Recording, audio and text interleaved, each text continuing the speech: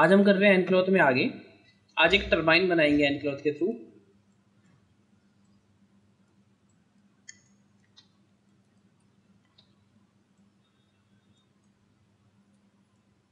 ये सारे polygon select करो। एक्सट्रूड करना। पर की फेस टुगेदर ऑफ़ करके। ताकि हम सबको अलग अलग स्केल कर सकें। फिर दोबारा से एक्सट्रूड करना ताकि अंदर की तरफ़ होलो बन जाए। हिस्ट्री क्लीन कर दो। इसको बना दो एनक्लोथ एनक्लॉथ अब देखोगे ये तो नीचे गिर गया। हमें क्या करना है? अपनी जगह रुके। इसके लिए, इसके बीच वाले वर्टाइसिस पे, बीच वाले। ट्रांसफॉर्म कंस्टेंट डाल दो। अपनी जगह रुका रहेगा? समझ आया? अभी वो भी राज होगा। अब मैं चाहता हूँ ऊपर से पार्टिकल ग्रे और इसको चला दे सर्कल की तरह। तो पार्टिकल्स के लिए जाना एन पार्टिकल और क्रिएट ऑप्शन को कर दो बॉल्स मुझे बॉल्स गिरानी ऊपर से। बॉल्स तो कर दिए। पर पार्टिकल निकले नहीं। क्रिएट इमीटर करोगे तो निकलेंगे। इमीटर को थोड़ा ऊपर कर दो।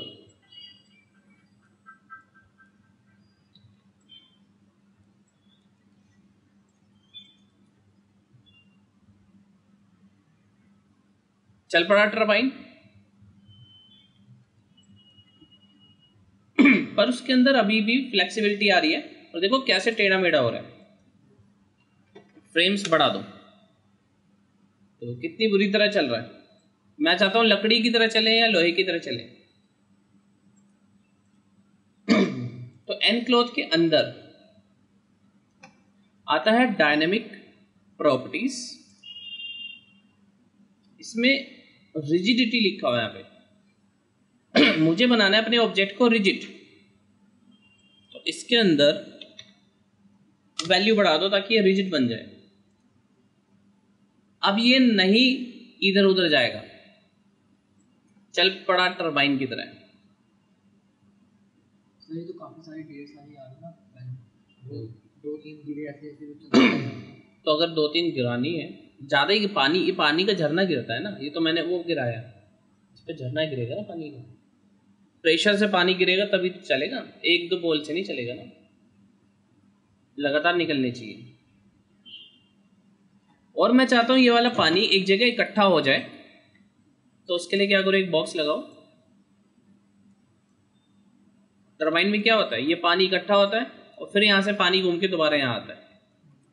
तो यहाँ पे एक मुझे कोलाइडर लगाना है।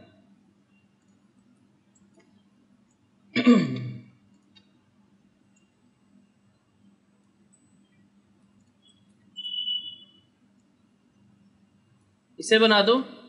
पैसिव अब देखो पार्टिकल नीचे नहीं जाएँगे इसी में इकट्ठे होंगे।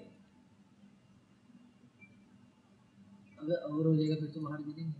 हम्म? और होगा तो बाहर गिरेगा।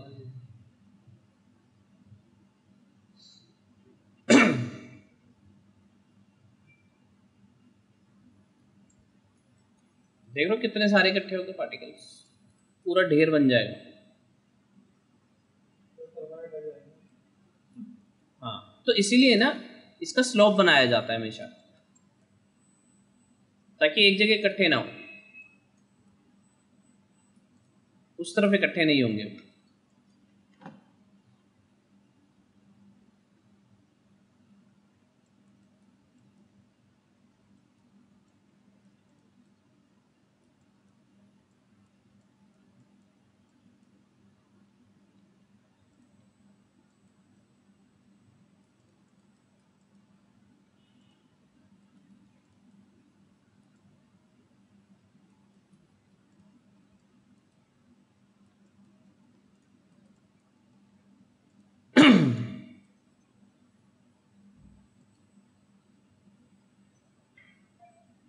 देख रहे हो, अब इकट्ठे नहीं होंगे वहाँ पे।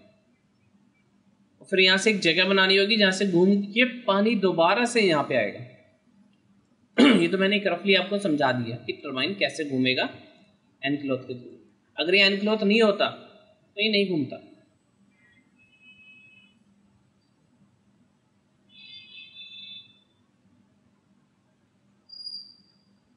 कोई डाउट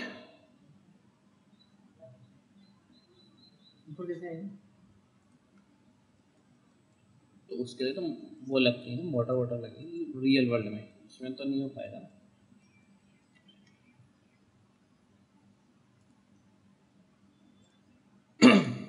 अब हम करते हैं, कोई शीशा तोड़ना हमें एनक्लोथ से।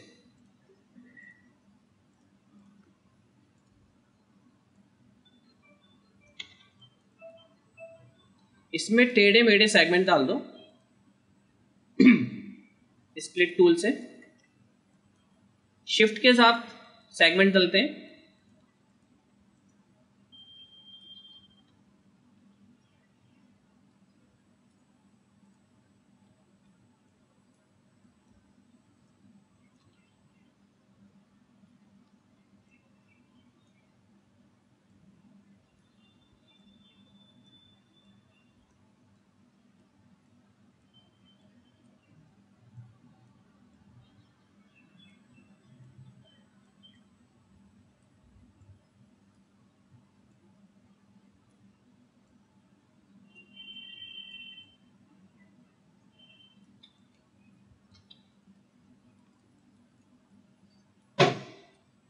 इन्हें सेलेक्ट करके यहाँ से कर दो।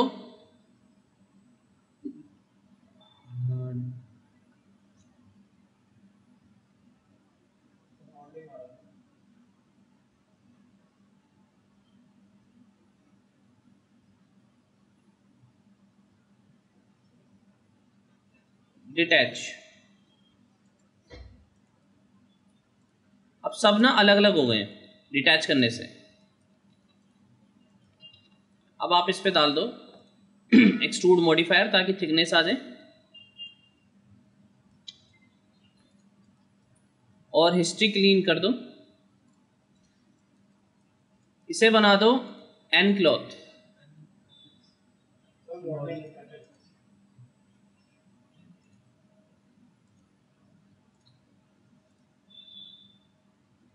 और ये तो गिर गया।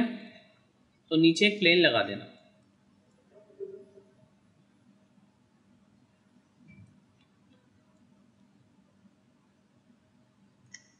प्लेन लगाने से पहले एक बॉल गिरा देते हैं। बॉल ऊपर से नीचे गिरे, इसको बना दो पैसिव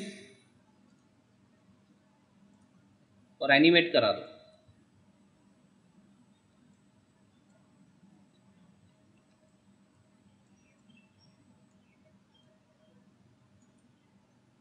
पैसिव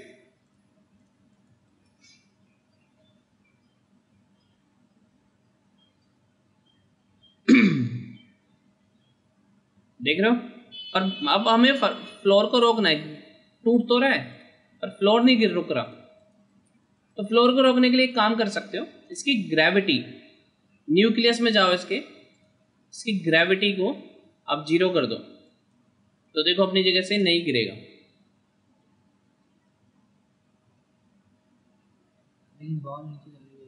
बोल तो जाएगी ना, गोली की तरह। ऐसा नहीं कि जैसे गिरती तो बॉल एक जब, टप्पे खा के आगे पीछे गिर जाए तो नीचे टूट जाए। कांच पे जब बॉल गिरेगी टप्पा तो न खाएगी सीधा तोड़ के जाएगी ना नीचे? नीचे अगर आप चाहते हो। नहीं कहने का मतलब जैसे नीचे नहीं मतलब ये जुड़ा रहे। हाँ। नहीं वो ये तो टूट जाएगा लेकिन वो बिखरेगा नहीं। तो आप एक नीचे प्लेन लगा दो ना थोड़ा। हाँ उसे बना दो। पैसिव अब बॉल नीचे चली गई ना वो एनिमेशन उसका फिर वहाँ तक रखना पड़ेगा ना। उस फ्लोर तक।